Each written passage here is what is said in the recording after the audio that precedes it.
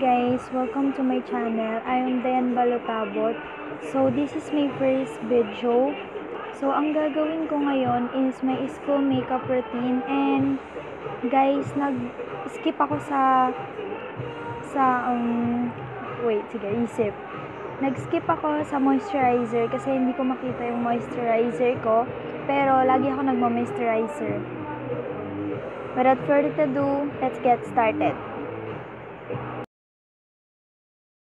Yan, so maglalagay muna ako ng BB cream.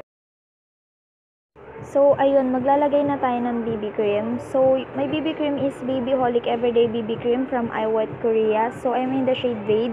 So, yung BB cream nun is nagpro-provide na siya ng benefit of both skincare and makeup.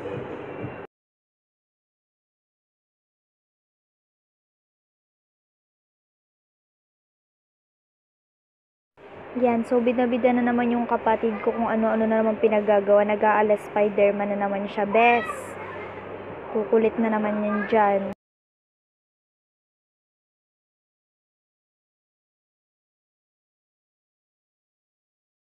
So, ayan, biniblend ko lang siya gamit pala yung finger ko lang.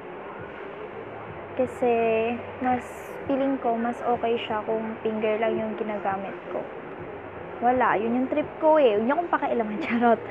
Basta yun, ganyan lang yung ginagawa ko for everyday. So, next thing we do is maglalagay na ako ng powder. Isiset ko lang yung nilagay kong BB cream, lalagyan ko siya ng powder. Tinan niya yung kapatid ko, bida talaga. So, ayun nga, lalagyan ko siya ng powder. Yan, so, dadamdam ko lang yung powder dyan para maset yung nilagay nating BB cream kanina para mas okay siyang tignan. Yan, nilagyan ko lang siya all over my face. So, ayan. And then, now naman is maglalagay naman ako ng blush on. So, same brush, katulad kanina. Guys, sa, sa blush on ko, I'm in the shade Fresh Tomato. Yes. Yun. Lagyan ko lang yung dalawang cheek ko and syempre para maayos tayong tignan, mas cute. Cute yun, cute. So, lalagyan ko din yung sa may nose ko para para siyang dark blush. Yan. So, kagabi, hindi na naman ako nakapaghilamos. Kaya feeling ko, pag di talaga ako nakapaghilamos ng gabi, is nag-break out talaga yung face ko. Ang dami ko na naman tigyawat. Yan. So, yan. Pasikat na naman ang gulo ng pagkakagawa. And so, naayos ko lang yung blush para pantay siya. And then, minagayan ko siya ulit ng powder para iset yung blush na nilagay natin para hindi siya ganun kapula. Yan, magka-curl naman ako ngayon ng lashes ko.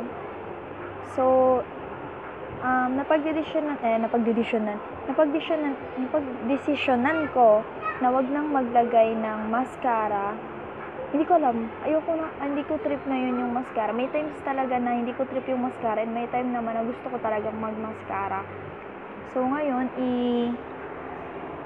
aano ko lang yung lashes ko. And then, maglalagay na ako ng lip balm. So, my lip balm is tinted lip balm. Ayan, damdam ko siya kanina. Inano ko siya. And then, maglalagay din ako ng my favorite lipstick. So, ayan. Favorite shade ko yan siya ng lipstick. Pinaghahalo ko sila.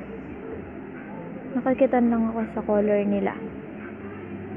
And then, that's it. Ito na yung face ko tuwing papasok ako. Thank you for watching.